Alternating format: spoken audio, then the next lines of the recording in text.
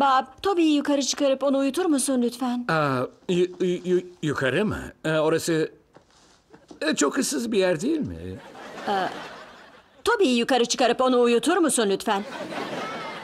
Hey, e, ne diyeceğim? Burada uyusa nasıl olur? Bob o altı haftalık. Koltukta uyumayı öğrenmenin yaşı yoktur. Peki tamam. Onu ben yukarı götürüyorum. Sen de o koltukta keyfine bakmaya devam et. O da neydi öyle? Ne?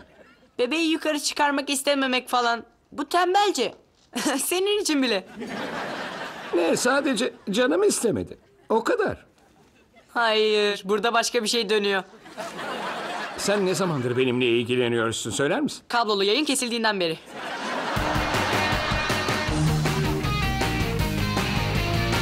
Emmett dostum burası harika. Babanı arayıp teşekkür etmeliyiz. Olmaz. Yeni daireyle ilgili anlaşmaya göre hiç aramamam gerekiyor. Bu çok güzel. Ne istersek yiyebiliriz. Yatma saatinde yatmayız. Dostum düşünsene yatma saati de. Evet artık yetişkiniz. evet. Dostum ben manzaraya bakacağım. hey şu palyaçoya bak. Aa bu gerçek bir palyaço. Ha, Hala palyaçolardan korkmuyorsun değil mi? Hayır. Bu yerle ilgili en iyi şey ne biliyor musun? Nedir? Annelerimiz bize yapmamız gerekenleri söyleyemeyecek. Aa, Annen geldi.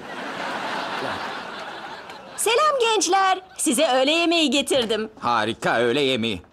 Ama hiç tabağımız yok. Çatal da yok. Hey gidip komşu palyaçodan alsana. İyi fikir.